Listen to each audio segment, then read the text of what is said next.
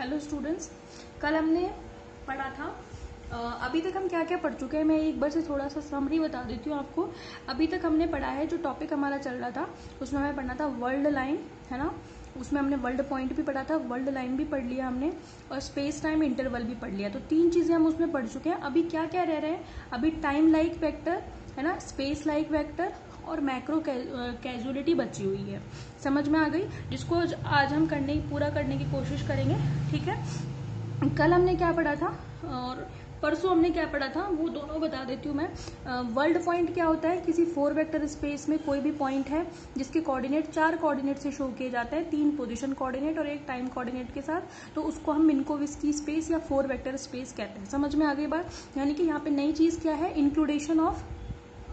Time coordinate समझ में आ गई बात तो वो आपका स्पेस कौन सा कहलाता है फोर वेक्टर स्पेस उसी को हम वैज्ञानिक मिनकोविस्की के नाम से मिनकोविस्की स्पेस कहते हैं समझ में आ गई अब दो वर्ल्ड पॉइंट के बीच की जो डिस्टेंस है वो क्या कहलाती है वो कहलाती है आपकी वर्ल्ड लाइन समझ में आ गई या किन्हीं दो बिंदुओं के मध्य तय की गई पाथ ठीक है path covered between two world point is also called what world line समझ में आ गई बात आपको ठीक है फिर हमने पढ़ा था space time interval space time interval क्या होता है किन्हीं दो वर्ल्ड पॉइंट के बीच की डिस्टेंस का वर्ग यानी कि स्क्वायर जो होता है वो क्या कहलाता है वो स्पेस टाइम इंटरवल तो हमने देखा था दो स्पे दो फ्रेम ऑफ रेफरेंस लिए थे हमने एस फ्रेम ऑफ रेफरेंस और S dash frame of reference ठीक है एस फ्रेम ऑफ रेफरेंस में दो पॉइंट लिए थे हमने वर्ल्ड पॉइंट उनके बीच की डिस्टेंस ये थी ठीक है तो ये एस फ्रेम का स्पेस टाइम इंटरवल है फिर इसी को हमने क्या कहा था कि अगर एस डैश फ्रेम में स्पेस टाइम इंटरवल को बताना पड़ेगा यानी कि उन दो बिंदुओं जो बिंदु कहाँ पे हैं एस डैश फ्रेम में है उनके बीच की दूरी का अगर वर्ग करेंगे तो वो एस डैश फ्रेम में स्पेस टाइम इंटरवल कहलाएगा समझ में आ गई बात आपको तो वो दोनों क्या होंगे क्या कहलाते हैं ये क्या कहला रहा है इस मैं बता देती हूँ आपको this is space time interval in S frame और ये जो है नीचे वाला ये आपका है space time interval in S dash frame ठीक है फिर मैंने ये कहा था आपसे according to the first postulate of Einstein's उसमें क्या कहते हैं उसमें ये कहते हैं हम कि अगर दो फ्रेम ऑफ रेफरेंस एक दूसरे से नियत गति पर गतिशील हैं तो उनमें फिजिक्स के रूल जो हैं या भौतिक या स्पेस में जो नियम लागू होते हैं वो इक्वल होते हैं तो एस डैश जो है वो एस के रिस्पेक्ट में कॉन्स्टेंट वेलोसिटी वी से मूव कर रहा है तो एस डैश में जो इक्वेशन टू है वो एस की इक्वेशन वन के इक्वल होगी बात समझ में आ गई तो यहाँ तक की हम बात कर चुके थे अब इसके आगे की जो कहानी है उसमें हमें पता लगेगा कि टाइम लाइक वेक्टर यानी कि समयवत सदिश क्या होता है स्पेस लाइक वेक्टर यानी कि आकाशवत सदिश क्या होता है और मैक्रो कैजुअलिटी कहाँ पे काम आती है समझ में आ गई बात आपको ठीक है देखें अब मैं क्या कह रही हूँ कि जो स्पेस टाइम इंटरवल है वो तो ठीक है लेकिन उसमें नई बात क्या है कि स्पेस टाइम इंटरवल जो है वो वास्तविक भी हो सकता है काल्पनिक भी हो सकता है और शून्य भी हो सकता है यानी कि इसकी वैल्यू जीरो भी आ सकती है ठीक है रियल भी हो सकती है और इमेजिनरी भी हो सकती है इस बेसिस पर तीन केस बनते हैं ठीक है तीन केसेस किस बेसिस पर बनते हैं कि जो डेल्टा एस स्क्वायर है या स्पेस टाइम इंटरवल है मैं एस फ्रेम में लेकर के चल रही हूँ ठीक है अगर उसकी जो वैल्यू है पॉजिटिव सॉरी रियल हो सकती है इमेजिनरी हो सकती है या जीरो भी हो सकती है ठीक है तो हम वही बता रहे हैं स्पेस टाइम इंटरवल यानी कि delta S square can be real imaginary और ज़ीरो ठीक है on the basis of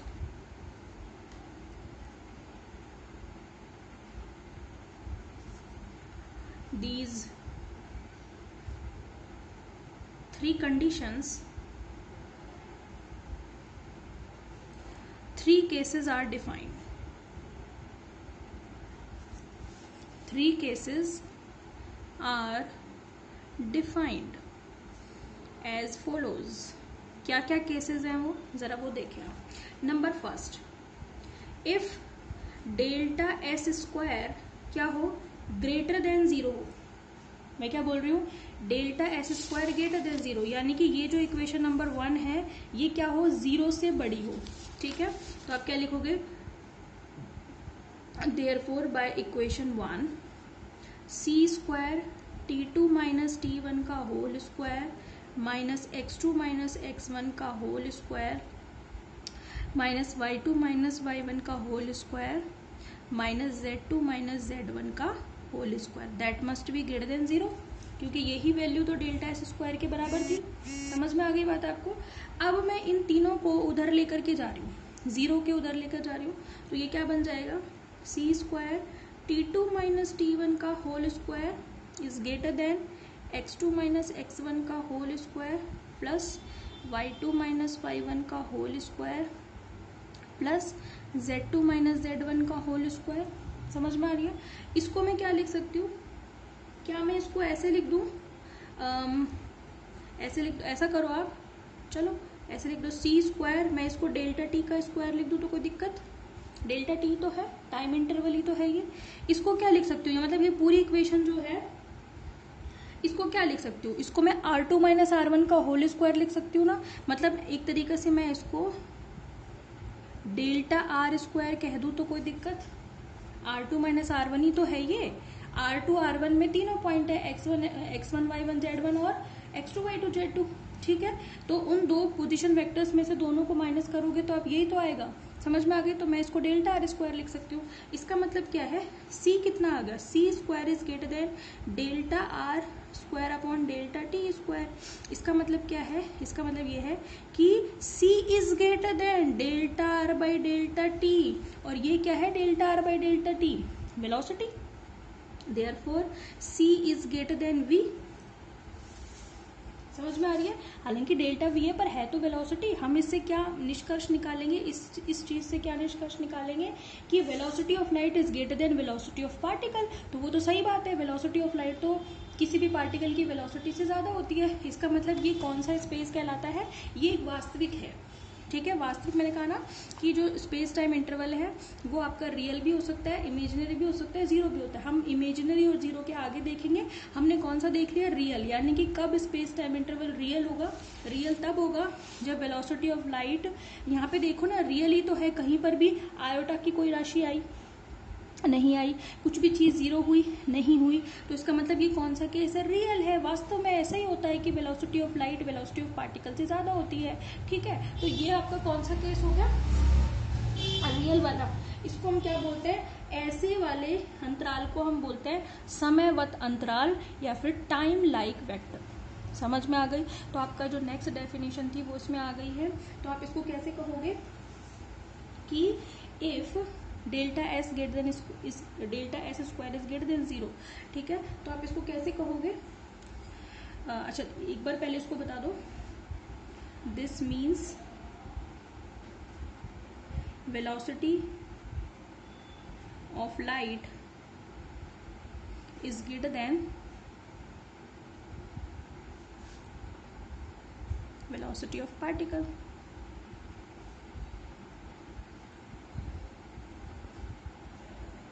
that is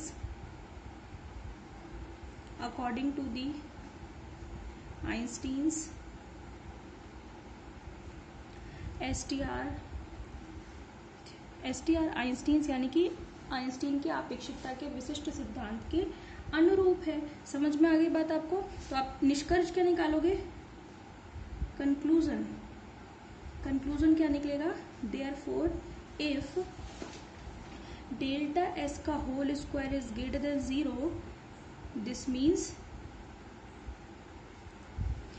space-time interval is real. Space-time interval is real. Then in this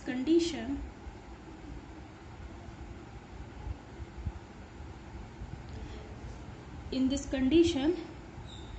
we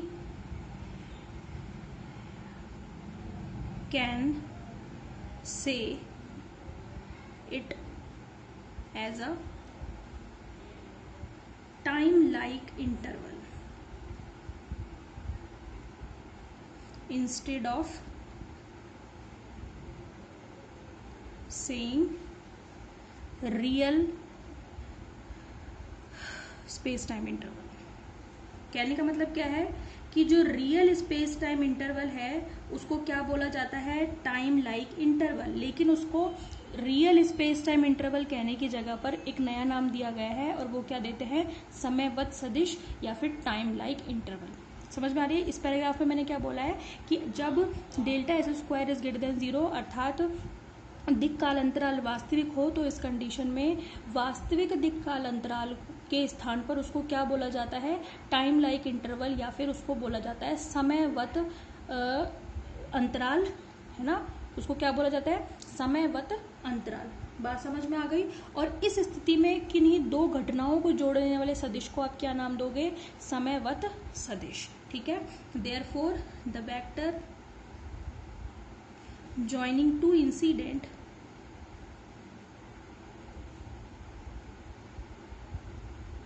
in this situation is known as time like vector यानी कि इस स्थिति में किन्हीं दो घटनाओं को जोड़ने वाले सदिश को क्या बोला जाता है टाइम लाइक वेक्टर या फिर समयवत सदिश बात समझ में आ गई तो किसी भी वास्तविक दिक काल अंतराल को क्या नाम दिया जाता है उसको बोला जाता है समयवत अंतराल और उस अंतराल में दो घटनाओं को जोड़ने वाले सदिश को क्या बोला जाता है समयवत सदिश समझ में आ गई बात तो समयवत सदिश को आप तब परिभाषित कर सकते हो जब आपका delta S square is greater zero अब हम देखते हैं कि जब delta S square is equal to zero होगा तो क्या होगा तो नंबर दो के इसे आपका if delta S square is equal to zero यानी कि इसका मतलब क्या है हुँ? हम्म, कि space time interval is zero space time interval is zero है ना तो इसको ज़ीरो होने का मतलब ये है कि C square T two minus T one का होल स्क्वायर है ना minus X two minus X one का whole square minus Y two minus Y one का whole square minus Z two minus Z one का whole square is equal to zero है है ना यही तो मतलब है तो अब इन सारी चीज़ों को आप उधर लेके जाओगे है ना तो C square T two minus T one का whole square is equal to X two minus X one का whole square plus Y two minus Y one का whole square plus Z two minus Z one का whole square तो ये क्या बन गया ये बन गया आपका मैं ऐसा लिख दूँ C delta T is equal to delta R मैंने स्क्वायर वगैरह हटा दिए और ये R two minus R one को मैंने डेल्टा आर लिख दिया पिछले वाले की तरह ही है ना तो ये सारा बार बार नहीं करेंगे अपन एक बार समझा दिया पेपर में तो एक ही बार आएगा तो वहाँ तो पूरा ही करना पड़ेगा आपको ठीक है तो ये आपका क्या बन जाएगा C is equals to V आप इसको नीचे लेके जाओगे delta R by delta T V बन जाएगा ठीक है तो यहाँ पर C is equals to V यानी कि इस केस में वेलोसिटी ऑफ लाइट जो है वो वेलोसिटी ऑफ पार्टिकल के इक्वल आती है बात समझ में आ रही है आपको तो इस स्थिति में अगर कोई घटना होती है तो उन दो घटनाओं को जोड़ने वाले सदिश को एक नया नाम दिया जाता है उसको बोला जाता है लाइट लाइक वेक्टर या प्रकाशवत सदिश जो कि हमारे हेडिंग में नहीं था तो ये ज़्यादा इंपॉर्टेंट भी नहीं है पूछा भी कम जाता है लेकिन पता होना चाहिए पूछ भी सकते हैं वो कि डेल्टा एस स्क्वायर अगर जीरो हो जाए तो क्या होगा लेकिन बेसिकली दो ही पूछे जाते हैं जब ग्रेटर देन जीरो हो या लेस देन जीरो हो तो ग्रेटर देन जीरो को तो टाइम लाइक बोलते हैं ठीक है लेस देन जीरो को हम बोलेंगे स्पेस लाइक ठीक है वो मैं बताऊंगी आगे लेकिन डेल्टा एस स्क्वायर अगर जीरो होगा तो इसको हम बोलते हैं लाइट लाइक लाइट लाइक क्यों बोल रहे हैं क्योंकि यहाँ पे वेलोसिटी ऑफ जो पार्टिकल है वो वेलोसिटी ऑफ लाइट के इक्वल है इसलिए इस स्थिति में दो घटनाओं को जोड़ने वाले सदिश को क्या बोला जाता है लाइट लाइक वैक्टर या फिर प्रकाशवत सदिश ठीक है समझ में आ गई तो आप क्या कहोगे therefore if delta S square is equal to zero then velocity of light is equal to velocity of particle in this situation the vector joining two incident is known as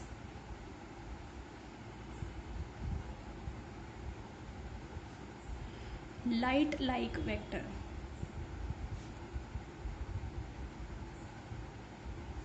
क्या बोलते हैं लाइट लाइक वेक्टर या फिर प्रकाशवत सदिश यानी कि प्रकाश जैसा सदिश तो अगर delta S square S greater is equal to zero हो तो उस केस में velocity of light velocity of particle की इक्वल होती है तो उसमें दो घटनाओं को जोड़ने वाले सदिश को क्या नाम दिया जाता है लाइट लाइक वैक्टर या फिर प्रकाशवत सदिश